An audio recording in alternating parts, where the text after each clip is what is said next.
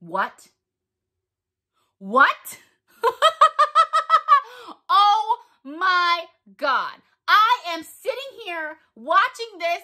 Things are going along fine, nothing unexpected. Then the last five minutes, I'm like, what is happening? I'm way out. Mm, mm, I'm so, wow. I will give credit to the writers because I did not see that coming. What is happening? Okay, let me talk about what I'm talking about. Last five minutes, June and Rara break up, right? Six months later, she's getting married to who? Dr. Cha. Creepy Dr. Cha. Why? I I I don't understand it. I don't get it. I'm like, you can't get married to someone else because you're lonely.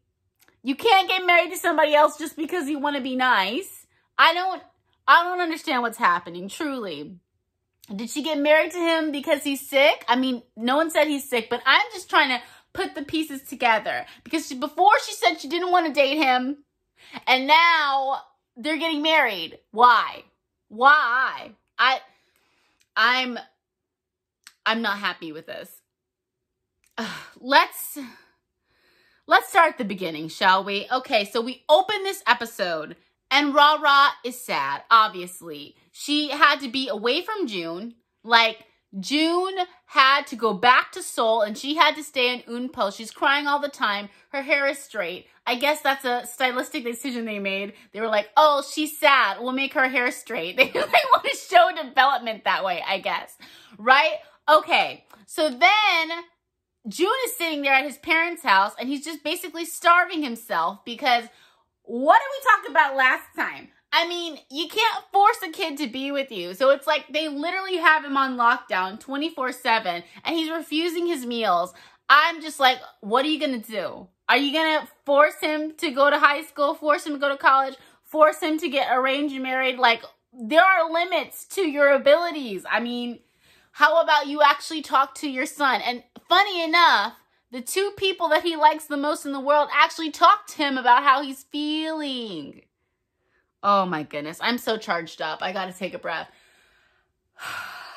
So I'm worried about her because this is like the first time since her dad has passed away that I've actually seen her sad and down in the dumps and she is just like not having her happy-go-lucky attitude to get through through life. I'm also worried because let's be real, June was her cash machine and she's going to have to like pay her rent by herself. And like, I'm hoping that those two students she has left are going to cover it because one student she had was a, um, was a psychopath who's probably in jail now. One student she had is like a kid and he can't pay anything. Um, and June, June was her student and June is gone now. So she really only has Haraboji, the grandfather, and Dr. Cha as her students. And I'm like, and you, and they like pay a hundred dollars an hour, I think. And I'm like, $200 is not rent make. These are the calculations that are going on in my mind, right? I don't know if we're supposed to be like real life specific or not. But yeah, there's that. And then while June's away, she's finding out all these things about his past, like his about his best friend that died. And she's finding out, out about her friend. Oh my gosh, her friend came to visit her. And at the beginning, I was like, this is not a friend. Because her friend, like at the beginning, she was like, Rah rah, don't come to me and cry about your problems. Everybody's got problems. Nobody wants to hear you cry about them. You just have to figure them out. And I was like, this girl is terrible. I she's not a friend. You know what? Get away from her. But she came and then she came and you find out that her younger brother was June's best friend. So recently she's lost her little brother and her mother is sick. And then things start to come into focus because that is the type of thing, like just stuff away your pain and nobody wants to hear about it is the type of thing that you say when you are in deep pain yourself. So that made a lot more sense. Oh my gosh. So after all that, June runs away, obviously. He comes back to meet Rara. You know, they have a good time. And then they keep that up. They keep that up for like uh, maybe, I'm guessing, a few months. And then finally, um, he misses an appointment with his parents. And then that's when his mom decides that she's going to come down to Eunpo, talk to uh, Ra and tell her that like she has to stay away from her son, right? When she gets there, oh my gosh, this is what I loved, okay? She went to go talk to Ra Ra. Ra Ra was prepared for it. The mom was like, I don't think you know that this is my most treasured son. I went through a lot to have him. You know, I had to use IVF and everything. And uh, Ra was like, I completely understand. Yeah, if it was my father and it was happening to me, I would probably do the same thing. And, you know, I didn't want to disappoint June before, but I will break up with him. And, like, honestly, honestly, the Ajumas were really funny. The like the women of the neighborhood, they were really funny because they were like, she doesn't have a mom. We gotta go over there and we gotta stand up for her, right? But once they got there and they saw how like calmly, coolly, and collectedly she handled everything, like they were proud of her. Like honestly, she was a class act because the mom was like, you need to stay away from my son. And she was like, I totally understand. Um, I will take care of everything. And by the way, here's the money that I owe June for all that time that he took care of me. and it was funny because the mom was about to throw money at her, like she always throws money at people, but Ra Ra beat her to it. And it was just like you were really proud of her. But then that's when Ra Ra decides she's gonna have a last date with June. So she goes up to Seoul, she has a last date with June, it's really great. When she comes back, she meets Dr. Cha.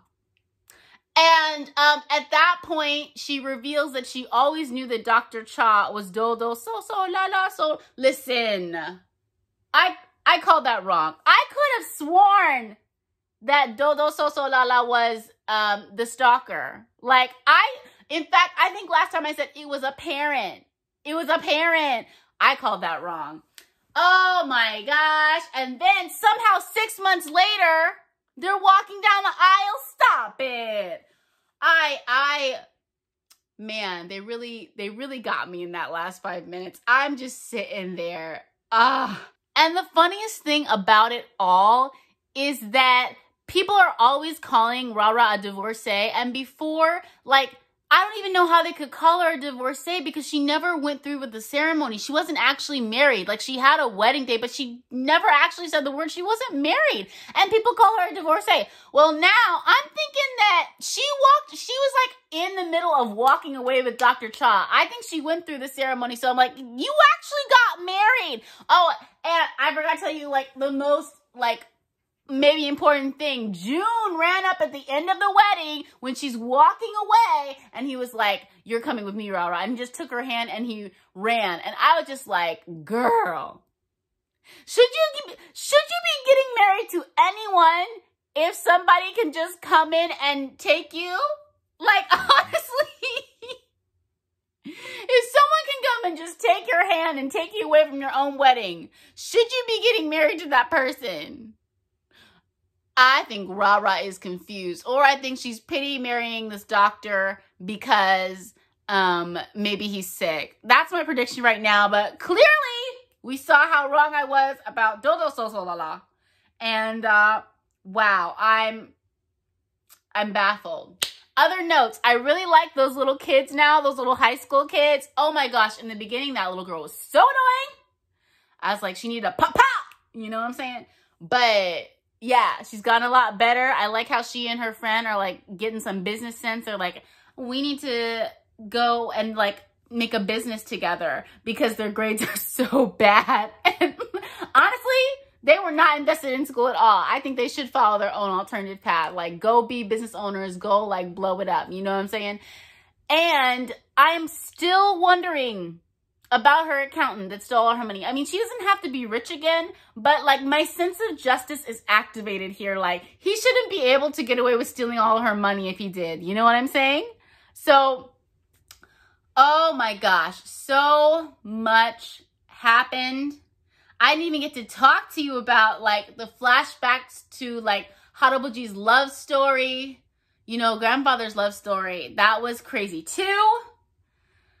Ah, Crazy because they used the same actors for that. I don't know how I felt about that choice. I kept getting distracted. I can't even collect myself, guys. What do you expect to see in this next episode? I feel like the writers are doing a really good job giving us twists and turns. But what do you think is coming next? I think we only have four episodes left.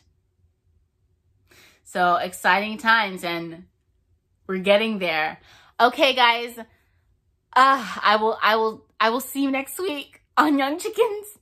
In the morning, in the evening, or sometime in between.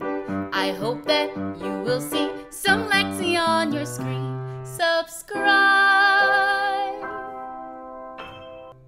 How does perfection feel, darling?